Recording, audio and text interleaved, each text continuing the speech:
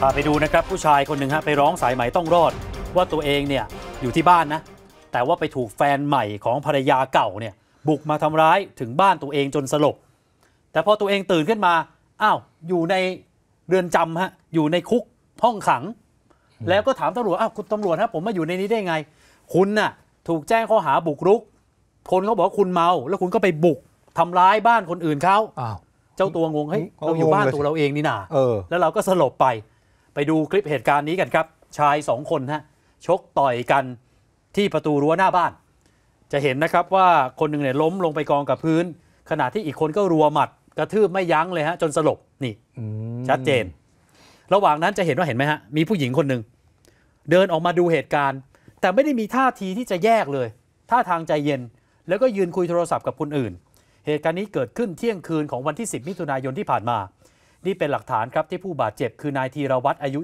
28 มาร้องขอความเป็นธรรมกับเพจสายไหมต้องรอด ว่าตัวเองถูกทำร้ายร่างกายในบ้านของตัวเอง หลังจากฟื้นขึ้นมาก็พบว่าตัวเองอยู่ในห้องขังสพธัญบุรีปทุมธานี พอถามตำรวจที่เฝ้าอยู่หน้าห้องขัง หน้าคุกเนี่ยว่าเอ๊ะผมมาอยู่นี่ได้ไงครับตำรวจบอกว่าผมได้รับแจ้งว่าคุณน่ะเมา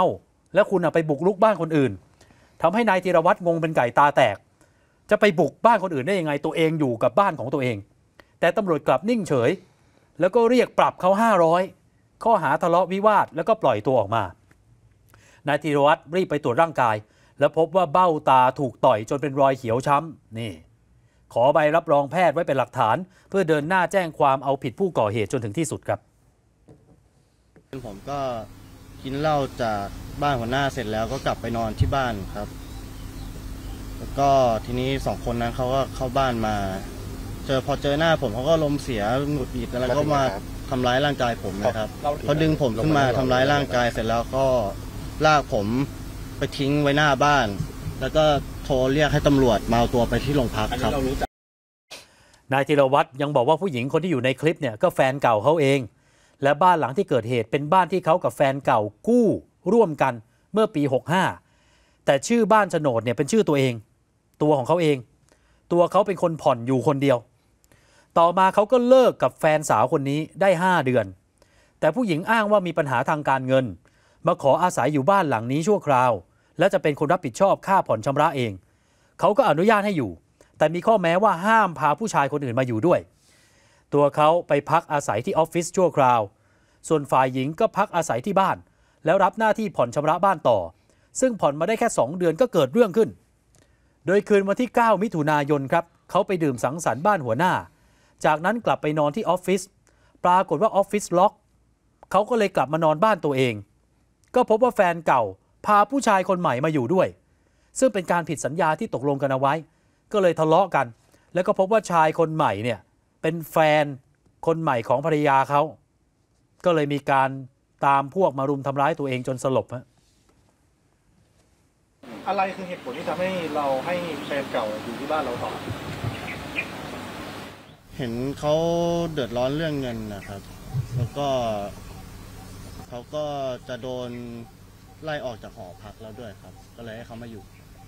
ได้ถามเขาไหมหลังจากเกิดเหตุว่าทำไมถึงต้องทำกับกับน้องแบบเนี้ยไม่ได้ถามนะ นับตั้งแต่วันแรกที่เลิกจนถึงวันที่เราโดนทำร้ายเนี่ยผู้หญิงอยู่ในบ้านตลอด ไม่ครับเขาย้ายเขาย้ายออกไปก่อนแล้วแล้วช่วงหนึ่งแล้วกลับมาช่วงสองเดือนหลังใช่ครับขณะที่ฝั่งผู้หญิงนะครับ นางสาวมายเนี่ยเปิดข้อมูลอีกด้าน บอกว่าก่อนหน้านี้เนี่ยเธอกับแฟนหนุ่มเนี่ยก็จดทะเบียนสมรสกัน ก็คือเป็นสามีภรรยากันจริง ๆ แต่ก็หย่ากันไปเมื่อเดือนตุลาคมปีที่แล้ว เธอก็ไปมีแฟนใหม่ ระหว่างนั้นเนี่ยแฟนเก่า ก็ถูกตำรวจจับข้อหารักทรัพย์ ติดคุกเกือบ 2 เดือน เธอกลัวว่าหลังจากอดีตแฟนเนี่ยออกจากคุกแล้วจะไม่มีที่อยู่ จึงขอมาดูแลบ้านและจ่ายค่าผ่อนบ้านให้โอ้นี่คนละเรื่องเลยฮะฝั่งผู้ชายบอกว่าผู้หญิงไม่มีที่ไป ขออยู่หน่อยเดี๋ยวฉันผ่อนให้ ฝั่งผู้หญิงบอกไม่ใช่ ผู้ชายนั่นแหละ โดนติดคุก2เดือนตนน่ะมาดูแลบ้านให้และช่วยจ่ายค่าผ่อนบ้านให้โอ้นี่หน้ามือเป็นหลังเท้าเลยฮะเรื่องไม่รู้ใครเรื่องจริง เธอบอกว่ายืนยันว่าได้บอกสามีเก่าแล้ว ว่าจะให้สามีใหม่มาอยู่ด้วยนะ หลังจากที่สามีเก่าพ้นโทษก็กลับมาบ้านครั้งเดียวเพื่อเก็บของไปอยู่ที่ออฟฟิศกระทั่งวันเกิดเหตุ สามีเก่าส่งข้อความมาหา บอกว่าตอนนี้อยู่ที่ห้องแล้วอาบน้ำรอเลยนะ อืมพร้อมบอกให้เธอกลับมาที่บ้าน เธอก็เห็นท่าไม่ดีฮะก็เลยนะ ไปหา ไปหาเพื่อนเพื่อนที่ออฟฟิศเพื่อนของสามีเก่าที่ออฟฟิศแทนเออ ว่าเอ๊ะนี่เกิดอะไรขึ้นอืมปกติเขานอนออฟฟิศทำไมเขากลับมาบ้านได้อ่าเพื่อนของสามีเก่าก็บอกกับตัวเองว่าอุ้ยสามีเก่าเมาหนักเลยอะเขาพูดไม่รู้เรื่อง เพื่อนร่วมห้องที่ทำงานก็เลยไม่ให้นอนด้วย เขาก็เลยกลับมาบ้าน หลังจากที่ผู้หญิงกลับมาถึงบ้าน พร้อมกับสามีใหม่อืมก็พบว่าสามีเก่าอยู่ที่ห้อง